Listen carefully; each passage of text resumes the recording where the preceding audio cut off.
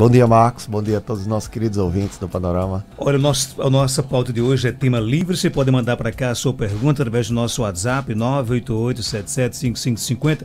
Tem uma pergunta aqui é, interessante, né? O ouvinte quer saber se farofa faz mal ao coração. Isso é mito ou verdade? Rapaz, é, tudo depende da quantidade que se utiliza, certo? Eu sou, sou um dos, dos grandes é, consumidores de farofa. Você é farofa. É, eu sou farofeiro, eu sou farofeiro. Eu gosto demais. Eu, tro... eu já digo na, nas rodas de, de conversa com os amigos que eu, eu prefiro farofa praticamente, apesar de ser um, um, um alimento com um baixo valor nutricional, que é basicamente composto de farinha, que é carboidrato puro e simples, e óleo, que é, que é gordura, mas eu gosto muito do, do, do sabor da farofa. Fui criado desse jeito. Mas não a, quando se pergunta, quando se faz esse tipo de pergunta com esse teor, o nosso ouvinte que pergunta se farofa faz mal ao coração, talvez o que ele te, queja, é, esteja desejando saber é se o consumo de uma mínima quantidade que seja pode ofender ou pode fazer mal.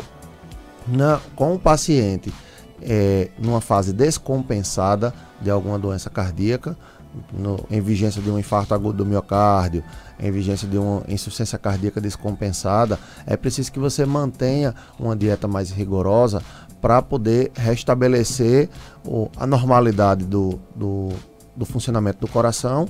Para isso, você precisa é, evitar que outros órgãos acabem desviando a atenção, né? E aí em função disso, a gente recomenda que o paciente siga uma dieta. Normalmente, essa dieta é implementada dentro do próprio hospital e ela costuma não incluir a farofa junto. Quando o paciente tem uma doença cardíaca, mas essa doença está sob controle, está bem controlada, a pessoa pode consumir. Eu não vejo, eu não vejo problema de que você faça isso é, em, de uma maneira controlada, de, obviamente sem, sem nenhum tipo de exagero, você faça esse consumo. É, o alerta que a gente faz aqui é o seguinte: é, a farofa ela é um carboidrato, como são muitos outros que compõem a nossa receita. A receita do sertanejo, a, a, dieta do sertanejo típica, ela é composta de arroz, de feijão, de macarrão, de farofa, às vezes uma batatinha doce, e, e tudo isso é, é carboidrato. A gente, a gente tem um consumo de carboidrato grande, a gente precisa consumir carboidrato, isso é verdade. A, as dietas elas são compostas de aproximadamente metade do consumo de carboidratos, mas quando vem todos ao mesmo tempo numa só refeição e não dando espaço para outros alimentos, isso pode ser prejudicial e pode colaborar para o desequilíbrio da, da, nossa saúde, não apenas do ponto de vista do coração, mas no aparecimento de outras doenças também. Então, a, a resposta é, se faz mal ao coração ou não, é depende de que momento você se encontre. Se você está com um problema do coração, no, no meio de, de um problema do coração, está tendo uma, um tratamento, está passando por um tratamento de um problema do coração em processo de recuperação, não é recomendado. É uma comida, uma comida pesada, a gente sabe que, que por mais que seja gostosa, que seja saborosa, pelo menos do meu ponto de vista, é, é uma comida pesada, comida que pesa no, no no estômago. Então, se você está tá, tá na vigência de uma descompensação cardíaca, melhor não consumir e seguir a orientação de, de, de, ter uma dieta mais branda e com menos gordura, com menos carboidrato. Se você tá, tem uma doença cardíaca, mas está sob controle, você pode fazer o, o, uso em pequenas quantidades, obviamente, sem, sem cometer nenhum exagero, assim como se você não tem conhecimento de nenhuma doença cardíaca e também não está sentindo nenhum sintoma que você ache que possa ser por doença cardíaca, não vejo problema de consumi-la, desde que, mais uma vez, seja um consumo controlado. Outra pergunta aqui chegando: minha bebê tem sete meses e ela, por qualquer movimento, o coração dela acelera muito. Será que isso é normal? É, isso precisa, é, esse, esse acelerar muito, ele, precisa, ele precisaria ser quantificado. O, o, pediatra normalmente ele faz uma avaliação desde o nascimento, de, desde que a criança nasce, um, o pediatra que, se, se, que habitualmente se encontra na sala de parto, que é o neonatologista, ele já faz uma avaliação inicial para ver. É, quantificar a frequência cardíaca da criança. É natural, isso é um fenômeno fisiológico que a criança nasça com frequências cardíacas bem mais elevadas E à medida que o tempo passa, ou seja, à medida que a, gente, a, criança cresce, que nós nos tornamos adultos, essa frequência cardíaca ela vai diminuindo até ela se estabilizar nos valores que a gente, a gente define como normais na população adulta, que são de 50 a 100 batimentos por minuto. Essa é a, a faixa de frequência normal de batimentos de uma pessoa adulta. Na criança, no, no feto, antes de nascer, esse, esse valor ele costuma passar de 120, 130, 140 batimentos por minuto, e isso é normal, isso faz parte da fisiologia da criança. Ao nascer, esse número ele começa a se reduzir e aí é, aos pouquinhos a gente vai tendo essa, esse caminhar em direção a essa faixa de frequência de 50 a 100. O que precisaria ser visto aí, como ela tem oito meses de idade, é certo que a frequência cardíaca dela estará maior, mais alta do que a de um adulto. A gente só precisa quantificar, então ela precisaria ver com o pediatra dela se a frequência cardíaca está dentro da faixa normal ou se ela está é, acima, acima da normalidade. Porque aí, se tiver, de fato, pode indicar alguma arritmia ou alguma outra doença cardíaca. E se não, trata-se apenas de um fenômeno fisiológico mesmo. Nosso ouvinte pergunta, é, doutor Vander, a, a minha mãe, é, no exame, acusou que ela estava com líquido no pulmão, tomou remédio, mas foi mesmo que não tomasse por causa do cigarro. De vez em quando aparece um cansaço, o médico passou um eletro, só que ela não bateu esse exame porque está quebrado. Será que tem a ver com o coração? Ela já fez angioplastia. Sim, pode ter a ver sim com o coração. Esse líquido no pulmão, ele, ele pode aparecer em, em dois cenários, geralmente. Primeiro é o líquido quando ele acomete dentro dos alvéolos, dentro do pulmão propriamente dito, a sensação que o paciente tem é de que está se afogando, tem um cansaço muito grande, e isso, quando vem de maneira súbita, nós chamamos de edema agudo de pulmão. E a outra possibilidade é de que esse líquido no pulmão ele esteja por fora do pulmão, numa membrana que recobre os pulmões, que são as pleuras, e aí a gente chama isso de derrame pleural. Geralmente o paciente se manifesta também com cansaço, mas não é um cansaço tão rápido, tão intenso. Ele vai se instalando mais devagar ao longo de alguns dias. E o tratamento nesses casos envolve você remover líquidos do corpo. A maneira que a gente tem de fazer isso é oferecer diurético em geral para o paciente, fazer com que o paciente urine bastante para que elimine esse líquido. E no caso de ser um derrame pleural, em algumas situações a gente faz a punção. A gente coloca uma agulha com uma seringa no local específico onde acumulou aquele líquido perto da pleura e faz a remoção desse líquido. Tem a ver com o coração? Em ambos os casos pode ter a ver sim, né? até porque ela já tem esse histórico de ter tido angioplastia e ainda fuma, pelo que eu entendi. Então, são fatores que aumentam o risco, mas não dá apenas por essa história aí, não dá para a gente bater o martelo e ter certeza de que se trata do coração, não. Ela também tem motivos, tem razões, até por fumar, você fumando, ela tem razões também para ter um problema relacionado ao próprio pulmão e não um problema do pulmão que tem a sua origem, a sua raiz dentro do coração. Outra pergunta aqui, doutor Wander. É, minha pressão oscila, tomo atenolol né, há quase dois anos. Esses dias senti o meu coração bater mais forte por alguns segundos. O que é que pode ser? Que pergunta Maria Lúcia. É, bom dia, Maria Lúcia, tudo bom? É, essa pressão, essa pressão oscilando, é, algumas, algumas pessoas nos perguntam muito se isso, se isso é alterado, se isso é normal. Mais uma vez, a resposta vai ser parecida, a gente não consegue dar uma resposta única e rápida porque ela é parecida com o padrão das outras. Depende de quanto ela oscila, né? Assim como a outra perguntou se eu sinto o coração acelerando da criança de 8 meses. Depende de quanto ela está acelerando. Por que depende do quanto oscila? Porque na verdade nós temos um padrão do nosso corpo em que o, o coração ele atende à necessidade e às demandas do nosso corpo. Eu e você estamos sentados aqui, Marcos. Então a gente tem uma, uma determinada pressão. Se o nosso corpo exige, se a gente de repente precisa se levantar aqui do, do, do, estúdio e ir aqui numa sala ao lado, a gente já vai gastar um, uma energia maior, o nosso sangue vai precisar circular e ser redirecionado para as pernas, e isso vai requerer do nosso coração um certo trabalho adicional. Então é natural que só esse, esse ato da gente se levantar e caminhar já eleve em um pequeno grau, mas já eleve a nossa pressão. E aí, à medida que a gente se senta de novo na outra sala, ela é, já não há mais essa necessidade, o coração já diminui de novo. Ele trabalha apenas de acordo com a necessidade do nosso corpo. Então, o resultante disso é que o nosso corpo ou o nosso coração, ele gera pressões ao longo do dia inteiro é, que costumam flutuar em torno de uma média. Então é normal, é natural que a pressão oscile.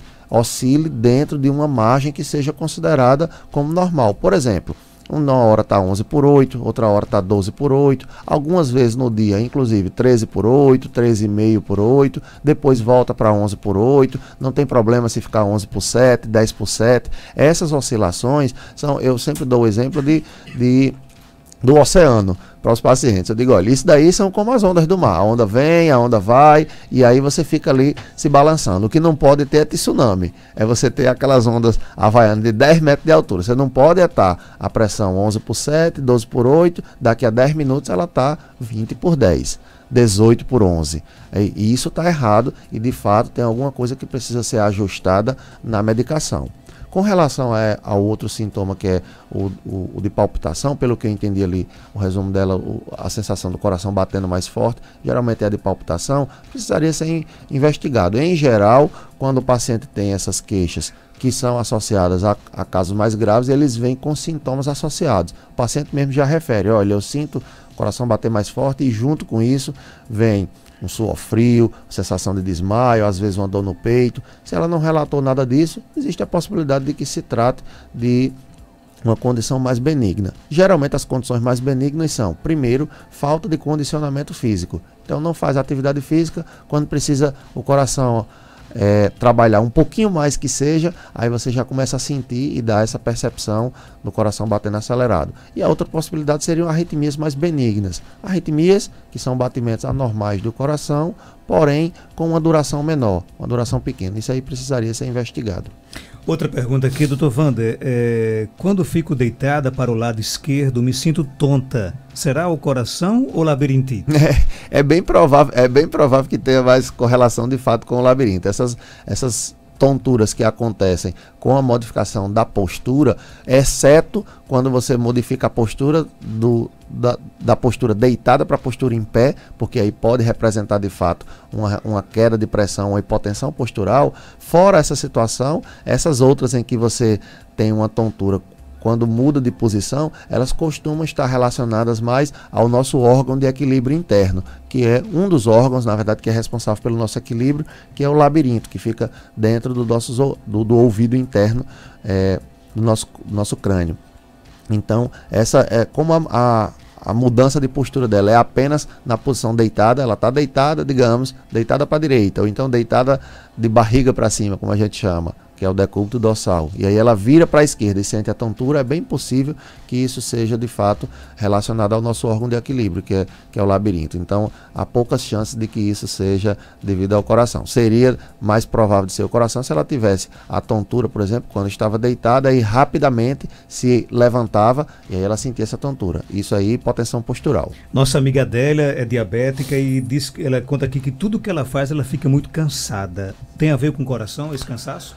Pode ter a ver, de um jeito ou de outro, pode ter a ver sim. Um, um, o, o, coração ele, ele, tá, ele estará participando de, desse, desse processo de cansaço, ou de uma maneira patológica, ou seja, ou um processo de doença, ou de uma maneira, digamos, fisiológica sem, sem, sem ter uma patologia associada. A maneira patológica seria a presença de uma doença. A principal delas, a gente incluiria aqui, seria a insuficiência cardíaca. O paciente com insuficiência cardíaca, ele tem intolerância ao exercício. Ele começa a fazer exercício e ele sente que fica mais cansado. Mas existem outras causas. Por exemplo, algumas arritmias podem fazer com que o paciente tenha essa percepção de cansaço. Hipertensão pulmonar é outra doença que pode fazer intolerância ou cansaço aos esforços.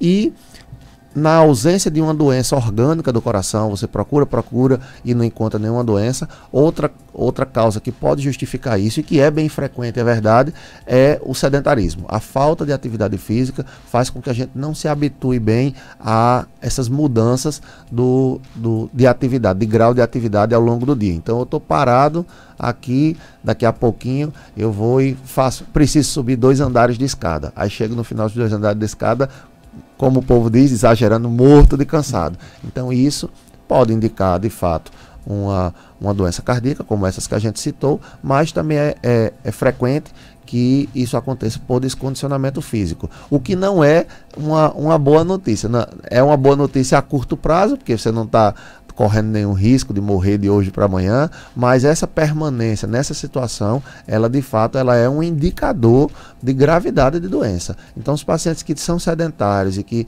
tenham uma um grau de atividade física baixo e tem uma resistência cardíaca baixa, eles sofrem mais com o passar do tempo, com as décadas que vão chegando, os anos e as décadas que vão chegando, eles sofrem mais. Isso porque o coração não é exigido apenas para sair daqui da, da sala da, do, do, nosso estúdio aqui é uma, uma sala ao lado e nem para subir escadas. Ele também é exigido durante doenças, outras doenças que não são as do coração. Vou dar um exemplo: você tem uma pneumonia.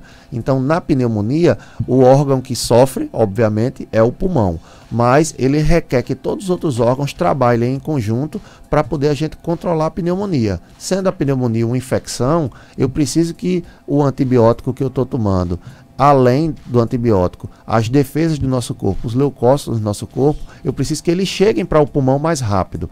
Quem é que faz isso? É quem bombeia o, o sangue. Né? Quem, é que, quem é que leva o antibiótico e quem é que leva as, as células de defesa? É o próprio sangue. Quem bombeia isso é o coração. Então, em determinadas doenças, como pneumonia, é, você tem um, uma necessidade maior de que o coração trabalhe. E para isso ele precisa estar tá habituado a isso, habituado a esse trabalho. Se você não faz atividade física, se você não treina o seu coração, você tem menos resistência para outras doenças. E isso quanto mais o tempo passa e você permanece sedentário, maior é o risco. Então é uma, é uma possibilidade mais tranquila, você só está cansado porque não faz atividade física, porque é sedentário, mas a longo prazo isso se torna um problema. Ok, a nossa ouvinte Neide mandou para cá uma pergunta aqui no nosso WhatsApp. Vamos Vamos ouvir. Doutor Vander, bom dia.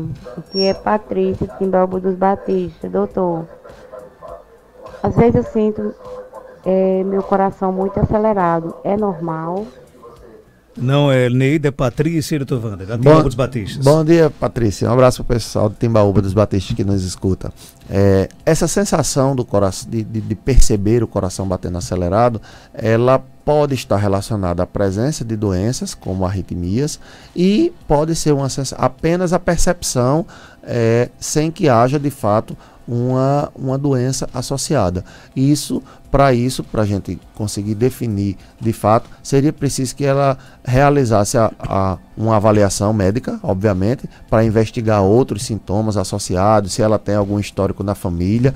Seria interessante que o médico examinasse e escutasse o coração dela principalmente na hora, se, se, se fosse possível, nem, eu sei que nem sempre é, mas se fosse possível, na hora que ela está sentindo as palpitações, o aceleramento no coração, para saber se de fato tem alguma coisa de anormal e também exames complementares que podem nos ajudar a definir essa, esse cenário. Né? Aí a gente, para esses esses sintomas de palpitações e essa suspeita de arritmia, os exames mais comuns que são solicitados são o eletrocardiograma, o Holter de 24 horas e o teste ergométrico. Isso para a gente tentar flagrar algum momento em que o paciente sinta as palpitações e a gente esteja vendo a atividade do coração.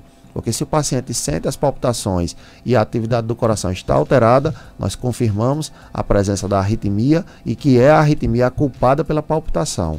Se tem presente as palpitações, mas não há nenhuma arritmia na hora, então está excluída a presença de arritmia e a gente sabe que isso pode ser apenas uma manifestação de algum outro sintoma ou de algum outro, alguma outra doença do corpo, que às vezes acaba respingando ou atingindo o coração. Doutor Wander, obrigado pela sua participação. Até quinta-feira, se Deus quiser. Eu que agradeço, Marcos. Até quinta.